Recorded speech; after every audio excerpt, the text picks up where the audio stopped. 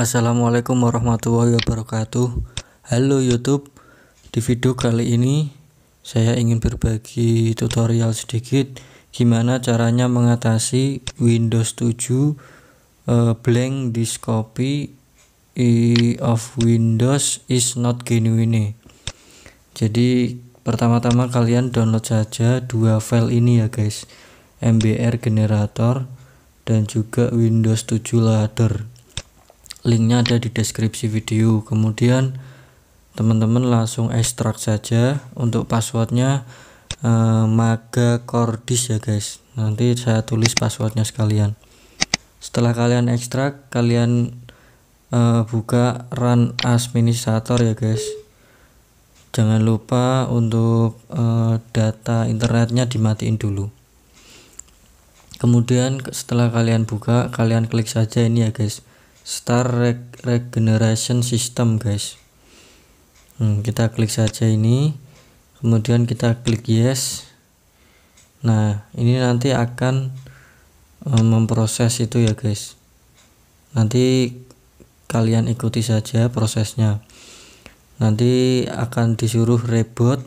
Nah, setelah kalian reboot dan sudah masuk menu maka Windows kalian akan hilang pemberitahuan yang warning tadi ya guys. Tapi kita masih ada satu step lagi yaitu teman-teman ekstrak lagi bahan yang satunya tadi yang Windows 7 loader. Kemudian setelah kita ekstrak passwordnya sama juga guys. Kemudian kita buka dan juga kita run as administrator sebentar ya guys masih loading. Jadi proses yang pertama tadi memakan waktu yang lumayan. Kalian tuh tunggu saja dan kalau ada pilihan seluruh reboot kalian reboot saja. Nah di sini Windows Loader V2 nya ini kita buka kemudian klik install guys. Nah kalau sudah klik install nanti uh, akan ada pilihan reboot. Itu nanti kita tinggal reboot saja guys jadi biasanya rata-rata yang mengalami seperti ini tuh habis install Windows 7 kemudian eh, apa ya 30 harian biasanya itu. Jadi kan Windowsnya nggak asli nggak genuine nggak genuine. Nah untuk menghilangkan itu kalian cukup pakai cara ini dengan mudah. Download saja file dua file itu tadi guys karena biasanya bisa juga sih lewat CMD cuman takutnya agak ribet atau gimana. Kalau menurut saya sih selama sering banget saya memakai saya pasti pakai cara ini guys. Ini kalau ada tulisan tulisan seperti ini kita pilih restart. Nanti prosesnya sudah selesai guys. Jadi kayak gitu aja caranya. Untuk Windows Loader dan juga apa tadi? MBR generatornya terima kasih untuk yang sudah mengupload dari Maga Cordis ya. Jadi kayak begitu saja untuk menghilangkan uh, tulisan Windows 7 is not genuine. Biasanya tuh kalau kita nyalain PC itu muncul ya seperti itulah ASMI letter dan lain-lain. Itu nanti tiba-tiba layar wallpaper uh, layar depan desktop dari PC kita itu blank hitam kayak tadi dan muncul tulisan di pojok itu guys. Jadi kalaupun kita ubah wallpapernya pasti kalau dinyalakan ulang nanti akan blank hitam lagi. Jadi filenya nanti eh, apa bisa download langsung di deskripsi video ini ya guys. Kayak begitu. Mengatasinya sangat mudah dan simpel guys kalau ada yang belum jelas bisa dipertanyakan lagi ya guys. Soalnya saya berbagi video ini juga biar saya sendiri suatu saat mengalami lagi. Nanti saya bisa buka video saya kemudian saya bisa download linknya. Soalnya kalau kita download linknya itu terkadang muter-muter ke sana kemari banyak iklan gitu gitulah jadi agak susah. Kalau saya lebih prefer upload file ataupun download file tuh lewat Google Drive. Jadi lebih enak gitu guys. Lebih gampang caranya. Terus nggak apa ya nggak terlalu banyak iklan atau apalah.